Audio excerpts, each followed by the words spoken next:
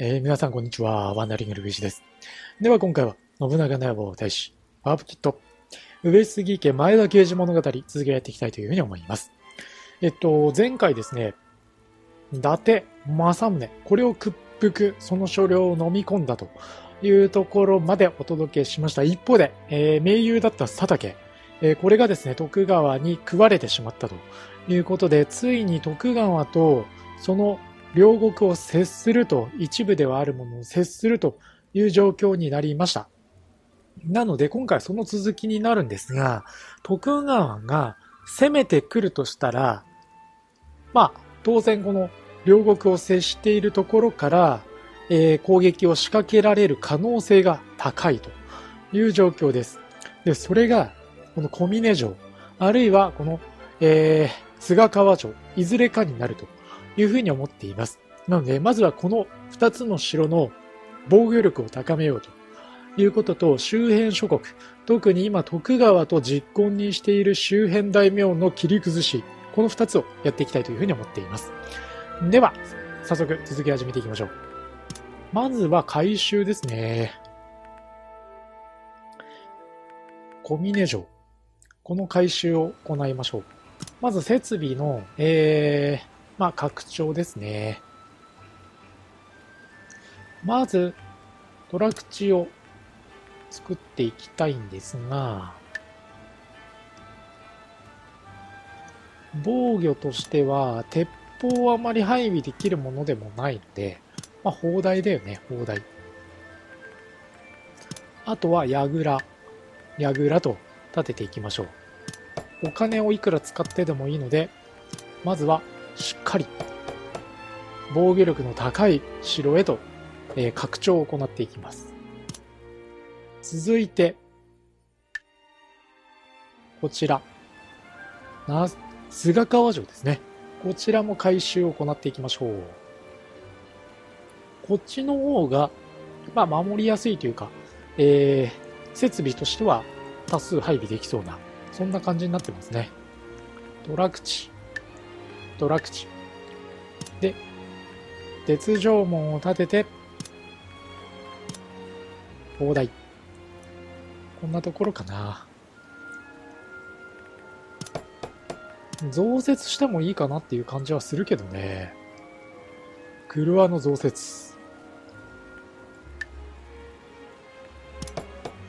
さらに天守も三層天守へと一気にアップグレード。223日、えー、マックス、兵糧も蓄えられるということで、まあ、半年以上ね、籠城が可能という状態になります。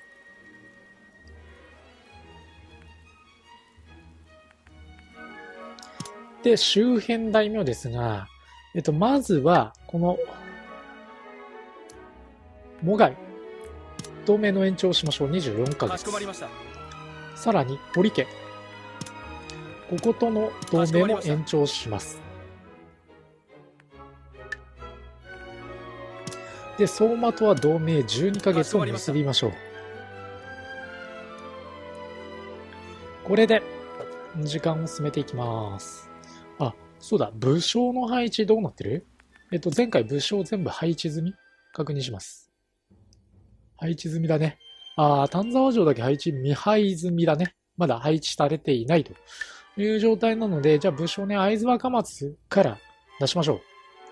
会津若松から武将、まあそれなりに動ける武将以外は、まあ、なんだろう。戦争になっても徳川といきなり激突するような場所ではないので、一人だけ、まあ戦える武将を配置したら、あとは放置でいいでしょう。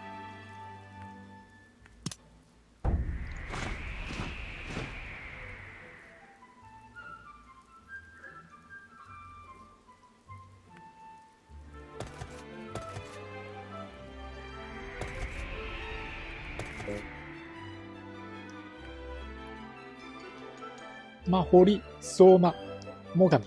この辺りがね、えー、同盟が成立という状態です。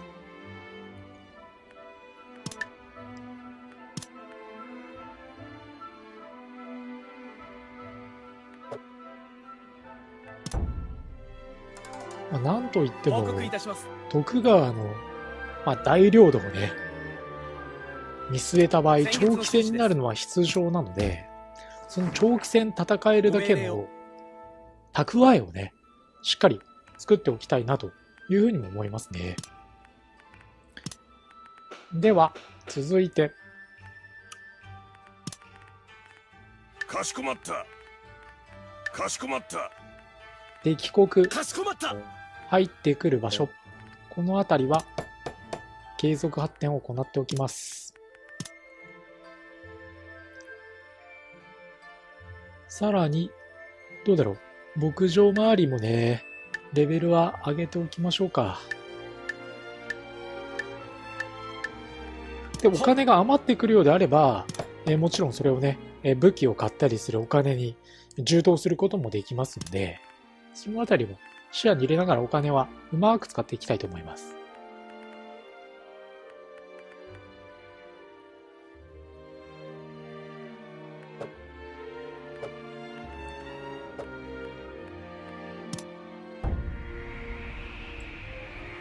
で、ちょっとね、全然別の話しちゃうんですけど、あのー、世の汚れを払い、天下に性質をもたらさん。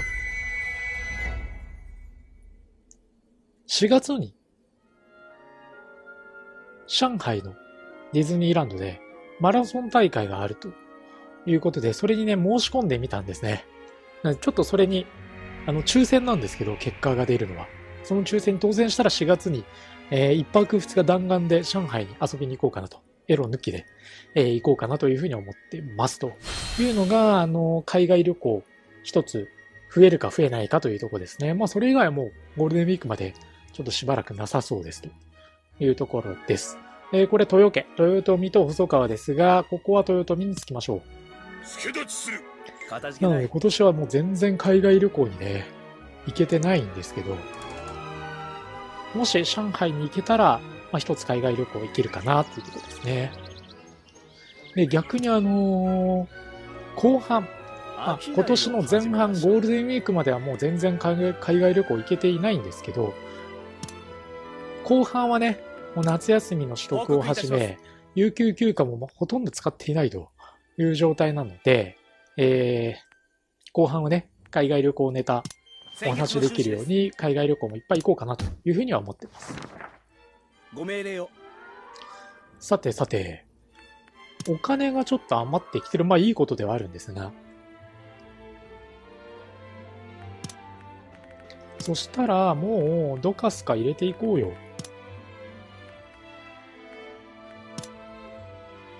むしろ一括選択で全部開けてもいいんじゃないぐらいのノリですよ。お金の量的には。で、えー、さらに、密談。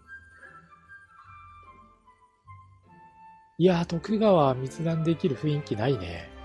南部ともね、戦争するつもりはないんで、これでも見ると徳川、本拠地を上杉の方に寄らせたね、だいぶ。いやー、危険度非常に高い。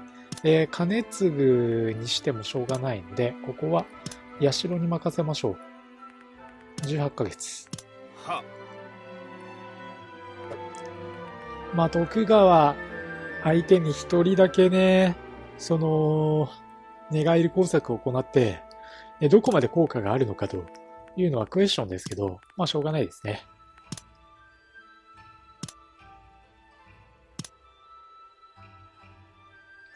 まあ、漁村系は、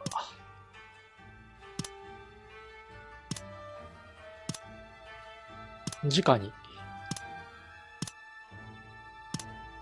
兵糧が増えるので、積極的に発展をさせていきましょう。貯水池も同じですね。まあ、ビビたるものとはいえ、えー、時期、直に、その兵糧が増える。入ってくる兵糧の量が増えるというものなので、これらに関しては重点的に、さらに優先的に投資をしていきます。我に続け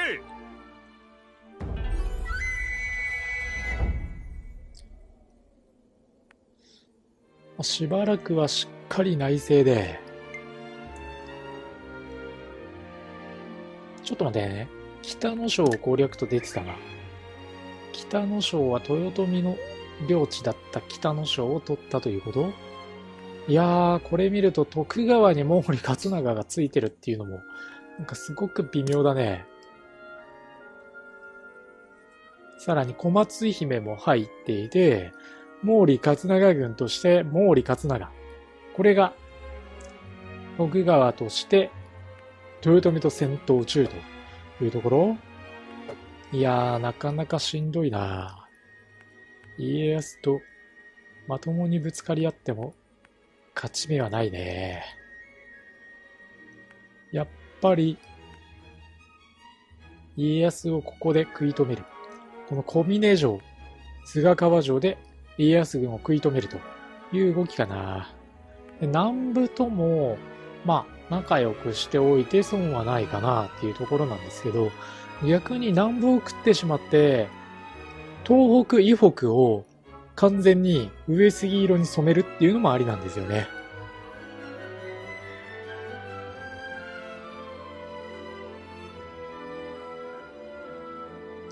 悩ましいなこのまま力を蓄えていっていたとしても、家康との力の差は広がる一方。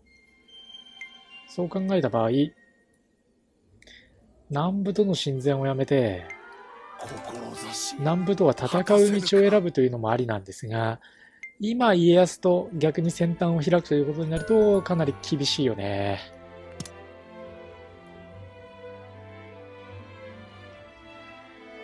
干ばつの弊害が出てますね。まあ、この辺りの施策も少しずつ余裕が出てきたら入れていきたいところにはなります。先月の収支です。表情を始める。この策はいかがでしょうか？騎馬攻撃力上昇症。これはすぐに入れたいね。前田刑事物語と、えー、語る以上は。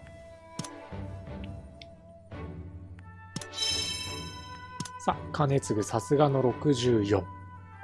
頭一つ抜けてるね、やっぱり。表情を終える。騎馬突撃訓練入れるには農業の28が必要なんだね。覚えておきましょう。これは入れておきます。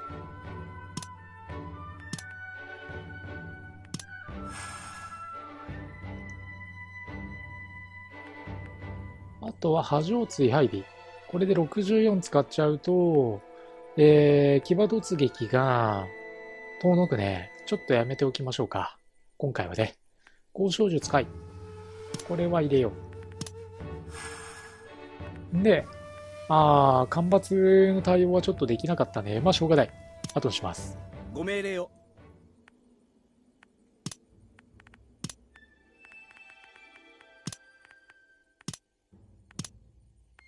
かしこまりました。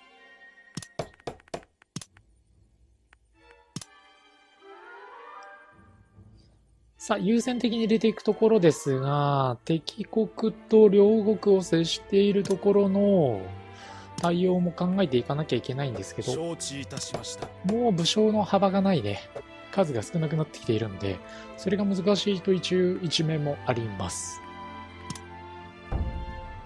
さあ、南部との海戦を行って南部を食うか、それとも、えしっかりと腰を据えて対徳川との戦いに備えるか。本当に判断が難しいところですね。どっちに舵を切るか。今徳川は豊臣と合戦中なので、こちらと合戦する余裕はおそらくあまりないんじゃないかなと思われるんですけどね。何？当家のものと通じている可能性がある家康の忍び。マジか。ご命令を。さあ、これは、えー、っと、恩賞を与えて、正宗なのよ。この辺りなんですよ。怪しげなのは。礼を言うぞ。上からだし、しかも。礼を言うぞ。正宗真っ赤だよね。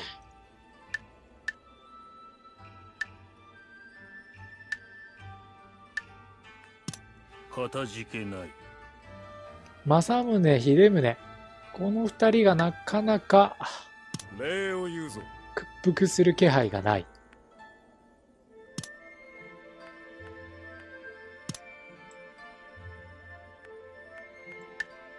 あとは、影勝に、縁組で、北ちゃんを、年齢66歳。これはちょっとしんどいものがあるな。側室。いや、影勝を女狂いにさせるっていうのもありだけどね。まあ、それは冗談として、最上に関して言うと、婚姻結びたいんだけどな。武将や姫がいないと言われちゃってるからな。養子縁組したいよね、養子縁組。養子にはできないからな。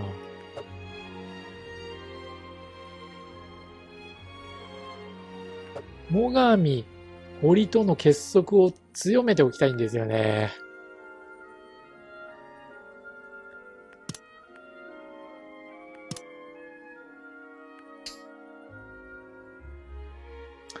堀を食いたい気もするんですけど、肝心の堀は、徳川ともしっかりとしたね、強固な同盟関係があり、果たして、えー家康と開戦した時に、堀がどちらに味方するのかというと、おそらく徳川に味方するんじゃないかと思われる節があるんですよね。なんで安易に、家康に戦争を仕掛けられない。そういう側面があるんで、難しいところですよね。かといって無意に時間を過ごしててもしょうがないというのもあるし。まあ、ここはただやっぱり領土を広げる必要があるので、南部との、えー交渉を一旦打ち切ってでも、南部食いをした方がいいかもしれないね。豊臣と家康が一旦講和状態に入ったということであれば、家康の次の狙いが、我々上杉になる可能性が非常に高くなったので、一旦南部との開戦は見送りましょう。仰せの通りにありがとうございました先月の収支ですご命令をちょっと死の目をしっかり放っておいた方がいいかもしれないね。今の感じだと、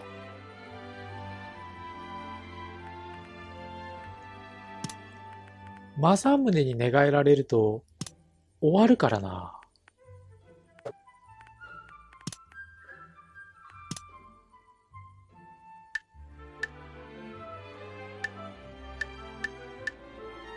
あ、宿場町をちょっと重点的にしっかり上げておいて、さらに漁村かな。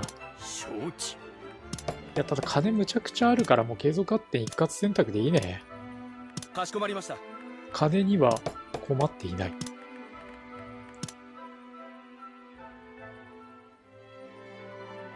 で、武将に余裕がないかもしれないので、先にね、優先的に上げていきたいところを、発展は選んでいきましょう。連兵所。交渉塾。砦。砦もどこの砦かっていうのはしっかり確認しましょうね。どうでもいい遠いところの砦を優先的に上げてもあまり意味がない。あとは、梶村。鉄砲も量は欲しいですからね。まあ、家康と戦うとなると、現状だとかなり厳しいからな。はさあ、では、回収の状況を確認していきます。コンビネーション。設備を増強できる場所はあるかな？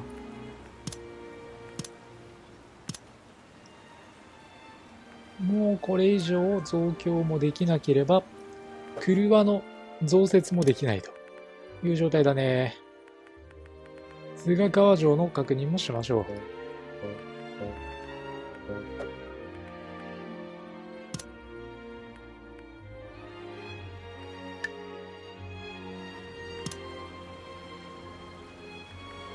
菅川城も以上かな。そうなると新しく城を作って、対徳川の最前線になる城を用意するというのも手だよな。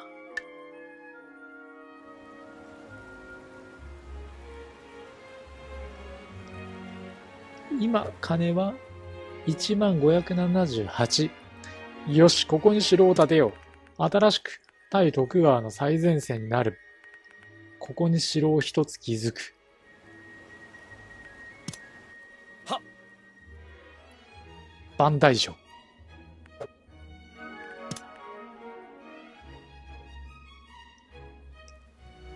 で、万代城の近くに、えー、砦をレベルアップさせていきましょう。そうすれば、必ず徳川よりも優位な状況で合戦ができる可能性が高くなる。磐梯城のこの近辺で展開できる兵数が少なければ少ないほど、え徳川の大軍を受け止める可能性が高くなりますよね。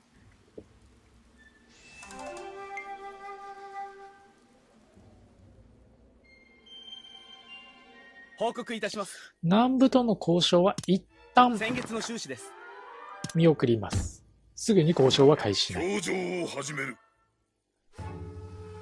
さあ、軍事商業できましたが、騎馬突撃の能力高めたいので、今回商業軍事に変更。面々はいつも通りですね。表情を終える。これで騎馬突撃訓練が可能になります。で、精鋭騎馬。これは軍馬1万以上で、えー、まあ、解放可能というところなので、一旦このままにしましょう。いずれにしても足りないところがありますからね。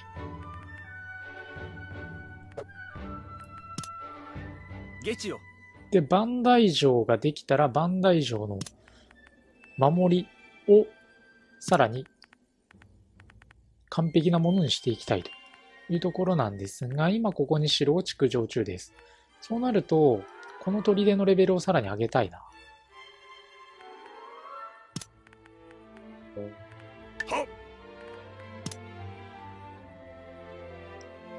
かしこまった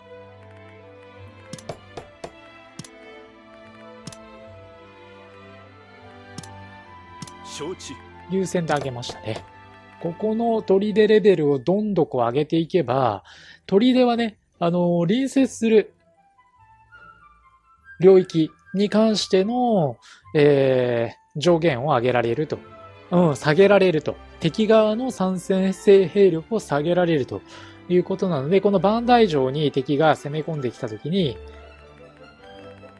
敵兵力をより少なくすることができる可能性が高くなるという、まあ、嬉しい効果が見込めます。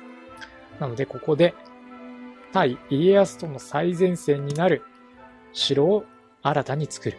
でもしここが破られたとしても、すでに増強改造済みの菅川城、小峰城で第2戦、第3戦という形で徳川勢を迎え撃てるという形ですね。で、そうこうしているうちに毛利、えー、さらには長宗我部島津といった西軍諸将が西から家康を叩いてくれれば攻撃ができるという形ですね。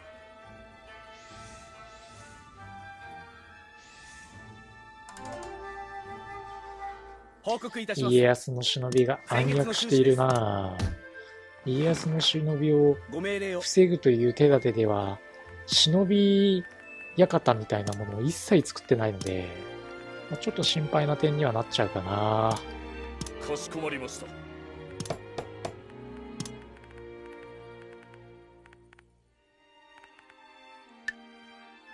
かしこまった。は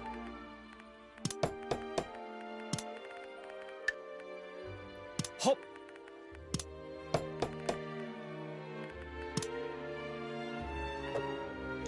で、あの、しっかりケアしておきたいところで言うと、磐梯城。これが出来上がるのが、まだ60日後ですね。2ターンかなゲーム上で言うところの。それが済んだら磐梯城の、えー、一気に増加移築を行っていきます。で、さらに、今、お金があるうちに取引で、え群馬を思い切ってドカッと買っておきます。ありがとうございました。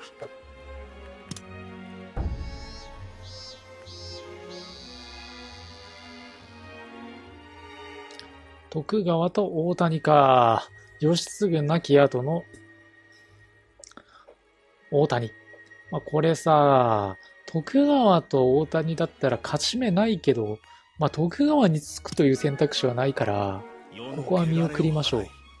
天下に性質をもたらさ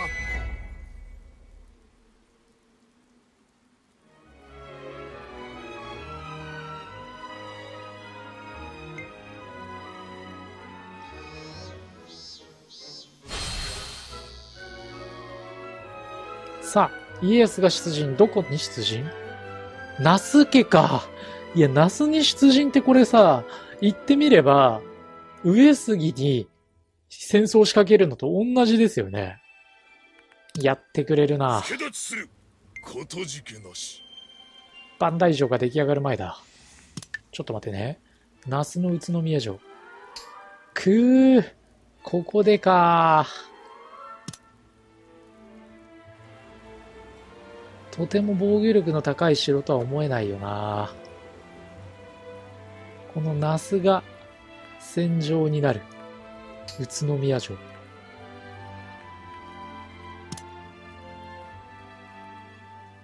まあ、ここにただ援軍を出さない限り勝ち目ないからね、那須は滅びるだけですよ。となると、まあ、どうしても、那須を救うために、家康に開戦をせざるを得ないという苦しい状態だな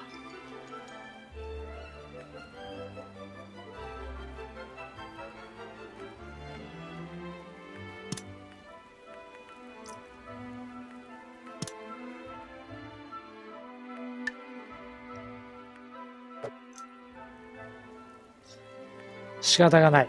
家康に宣戦布告しましょう。那須を見殺しにするわけにはいかない。義の大名、上杉としては。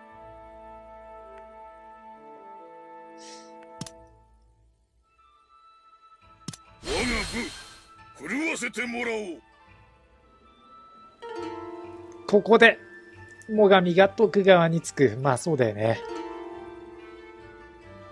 力を貸すぞ助立ちいたす。賛成力のみか。いやー、なかなか厳しい戦いになるな。まあ、早速ではありますけども、そしたら、えー、城を取りにかかる。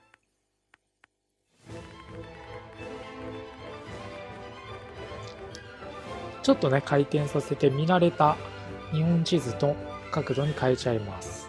でだ。家康の大田城。ここを攻めた場合、家康自ら出てきた3万4600。これと戦うのか。それはありえないな。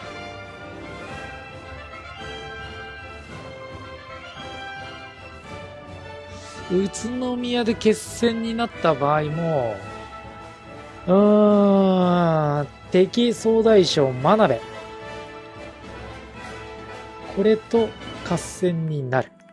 できるだけ消耗はしたくないから、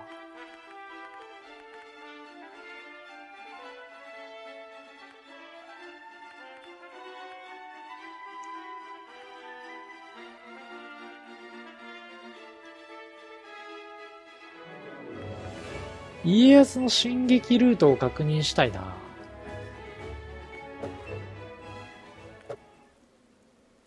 すでに徳川勢は宇都宮城に攻撃するために軍1万2000を集めているわけだよね。この1万2000を相手にして戦うのであれば、まだ勝機はあるものの、仮に行軍で宇都宮城まで進んだ場合、戦場上限1万4000。これに対して、我が方は、兵。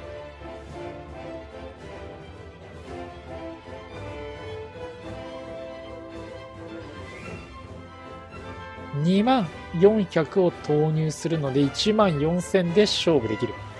兵数では、えー、まあ、2000ほどしか上回ってないものの、学べ隊を上回る数が用意できるんですが、陣が相手にあるんで、まあ、消耗が相当激しそうですよね。いやー、これは、どうだいという感じだな。であれば、宇都宮城を捨てて、宇都宮城の次に家康が狙う城で迎え撃つというのが得策ですね。今1万2000と1万4000でぶつかって兵を減らした後に、家康の本体3万が迫ってきたら、なすすべなしということになりかねないので、ここは一旦宣戦布告したものの、生還して、宇都宮城が落城したらすぐに大田原城、もしくは烏山城、いずれかの城に、えー、徳川がさらに攻勢をかけてくると思われるので、えー、そこを救援に向かって一気に叩きのめしましょう。これでいきます。えー、というところでね、えー、じゃあ30分経ちましたので、今回ここまでにさせていただいて、次回、えー、家康との戦いに。はい。というわけで、えー、最後までご視聴ありがとうございました。ぜひ、チャンネルの登録、あとはですね、ツイッターの方で動画の収録状況と、あとは配信状況、まあ、その他もろもろ情報を発信しておりますので、え興味のある方はぜひツイッターの方もフォローしていただければあ嬉しいなというふうに思います。